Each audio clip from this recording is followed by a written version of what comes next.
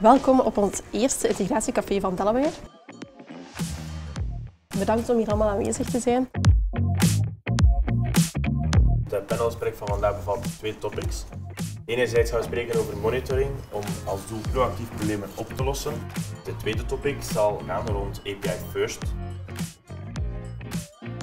Ik was ook aanwezig op uh, Integration Café vandaag bij Delaware. Altijd heel inspiratievol.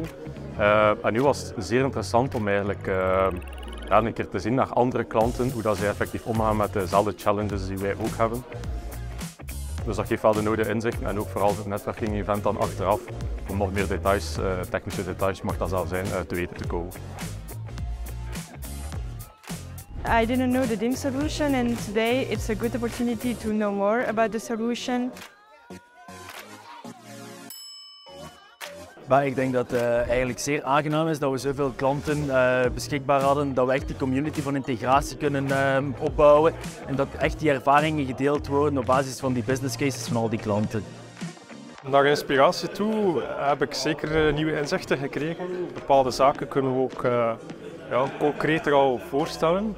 Met, ja, met wat discussies en wat ideeën die we hier gehoord hebben, denk ik wel dat we kunnen ja, er iets mee doen.